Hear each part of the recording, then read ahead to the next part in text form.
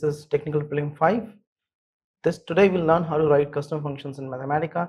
You've already seen a little bit of it and today we are going to learn how to write custom functions which involve multiple steps of calculation into a single function using the module construct.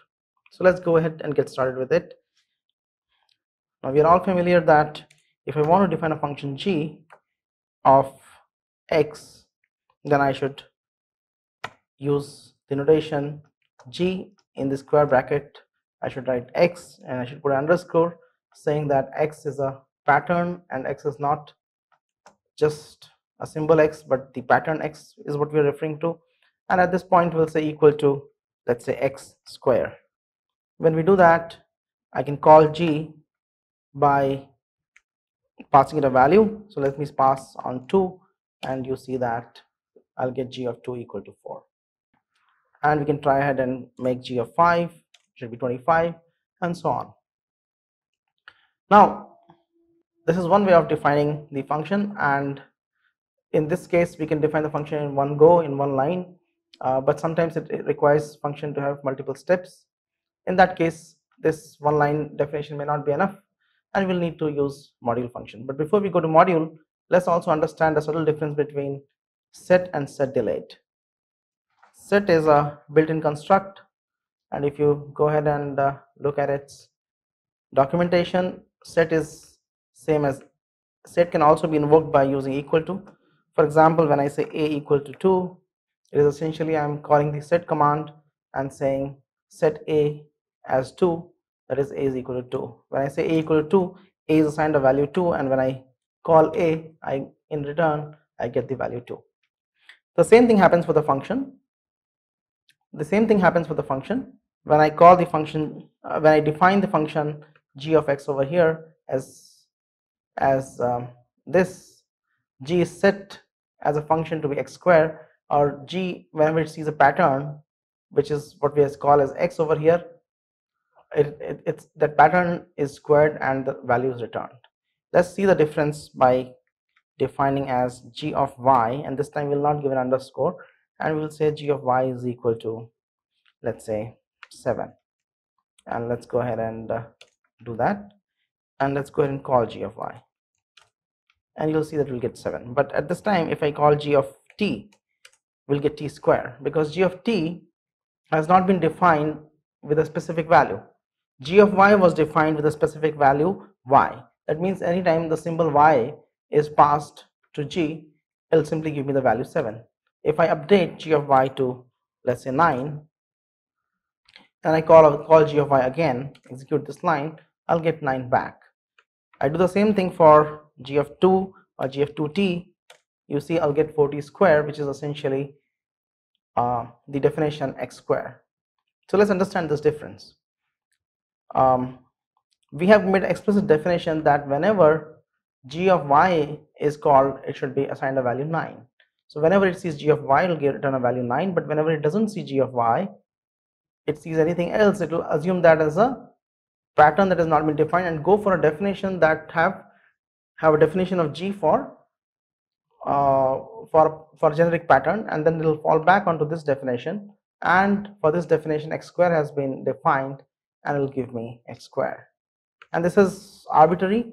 You can actually put in any expression over here. For example I can put in sine of y and it will give me sine, of, sine square of y. Similarly, you can go ahead and define g of 3 equal to 10. You know that g of x is x square, so g of 3 should be 9, but now I am over overloading that with g of 3 as a specific definition, g of 3 being 10. So let me go ahead and define that. Now you see whenever I call g of 3, I'll get a value 10 while if I call g of 2 I'll get 4 and if I call g of um, 4 I'll get 16 if I call g of 3 I'll get 10 but if I call g of 3.0 I'll get 9.0 because g of 3 was a specific pattern for for integer 3 g of 3 was defined as 9 not uh, as 10 not in general. So if I So this is also known as function overloading. For a given function, you can define uh, multiple definitions and depending on the context system will automatically understand which definition is being required and it will produce that definition. It will use that definition to produce your result. Now that we have understood that let's also understand difference between set and set delayed if you go if you want you can go ahead and look at the documentation for set. Let's go ahead and look at set delayed set delayed is again a construct that can be simply called by colon equal to construct or colon equal to symbol. So let me go ahead and open this documentation. If you look at the documentation of set delayed, it says that set delayed or colon equal to is defined as it can be used as this left hand side colon equal to right hand side, which means that assign right hand side to be delayed value of left hand side. It also says that right hand side is maintained in an unevaluated form. When left hand side appears, it is replaced by right hand side evaluated afresh each time. So the difference between set delayed and set is the following. If I define a new function, let me say, uh, let me say gg of x and this time I'll use colon equal to that is I'll, I'm going to use set delayed and I'll say colon equal to as x cube. Now the effect of this is same as as uh, set or equal to colon equal to over here seems to have the same function as equal to but there's a subtle difference equal to makes the evaluation of the right hand side immediately so in this case when I did a definition using equal to it evaluated the right hand side as x square so x square was taken as the pattern x squared and that value was immediately assigned to j In set, set delayed that doesn't really happen.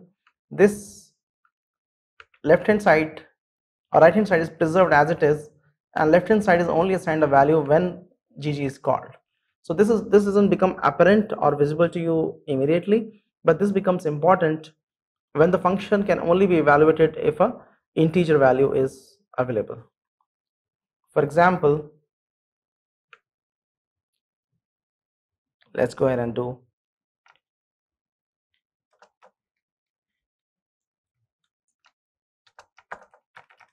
numerical integration of x square and where x goes from 0 to y and you see that when I uh, call this this is going to complain because the y is not a numerical limit. It says the x equal to y is not a valid limit of integration. Y is not a number. On the other hand if this was 1 this will evaluate to a number. But if I give it something that has not been defined as a number it's going to complain that this doesn't work. But if that is my need I can go ahead and define a function. Let me say g2 and this time I'm gonna say g2 of y equal to n integrate. Now let me go ahead and do that. And you see that it's going to complain because it's going to evaluate the right hand side and it's unable to evaluate the right hand side because y is not a number. So it's going to complain that it's not able to evaluate the right hand side and it's not able to uh, do this do this properly. So now if I go ahead and call g2 of 1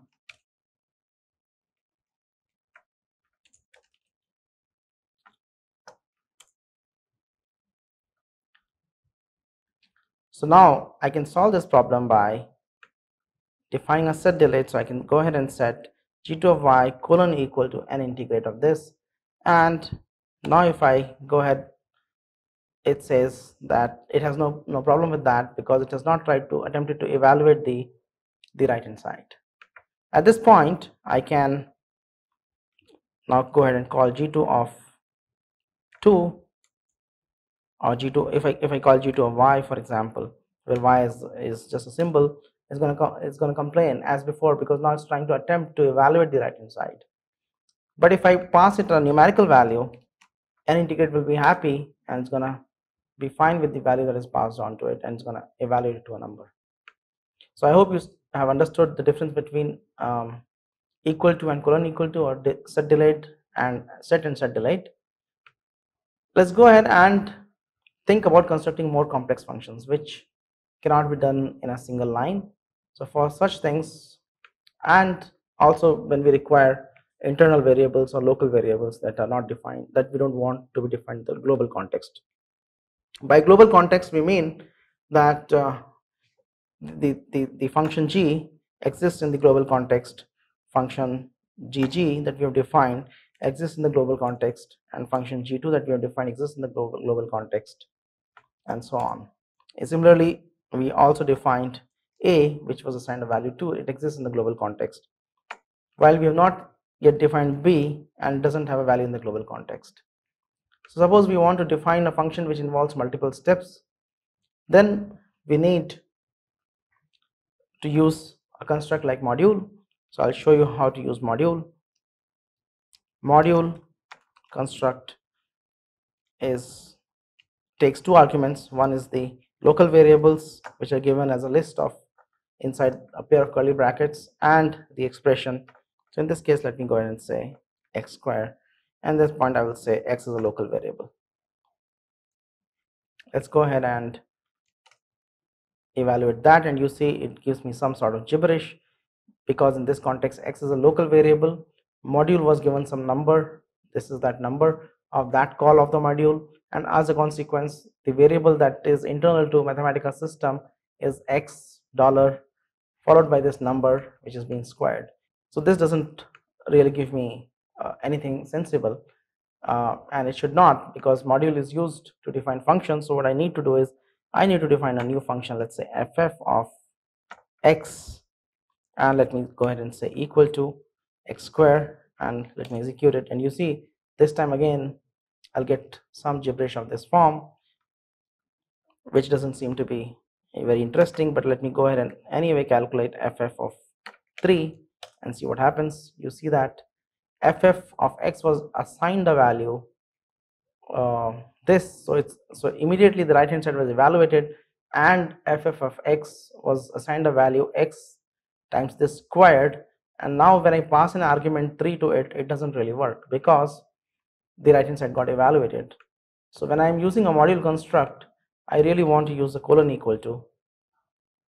And I in this case I don't uh, I'm trying attempting to use the same uh, x as an argument of the function ff and the local variable so this is complaining. I can go ahead and remove this keep keep it empty go ahead and execute it. And now if when I call ff of 3 it'll, it'll evaluate to 9 let me try something else. Ff of 10 will evaluate to 100 and so on.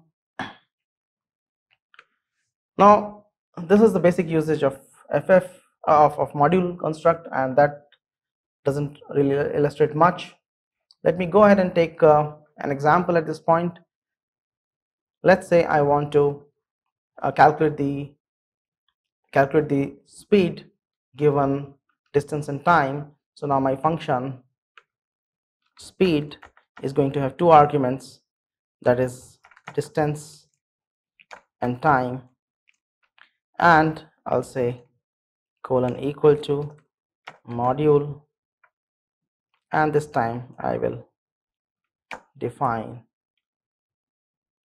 uh, an internal variable and I'll call that internal variable as SPD for short for speed. And then for the body I will write SPD equal to